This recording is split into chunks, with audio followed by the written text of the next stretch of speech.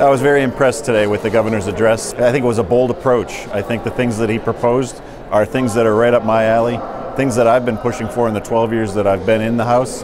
And uh, I think it's things that are positive for uh, the average Pennsylvanian. I, I, feel very good hearing some of the things that he proposed for not only education and labor, uh, but also the, the nuts and bolts of things that people face every day in Pennsylvania.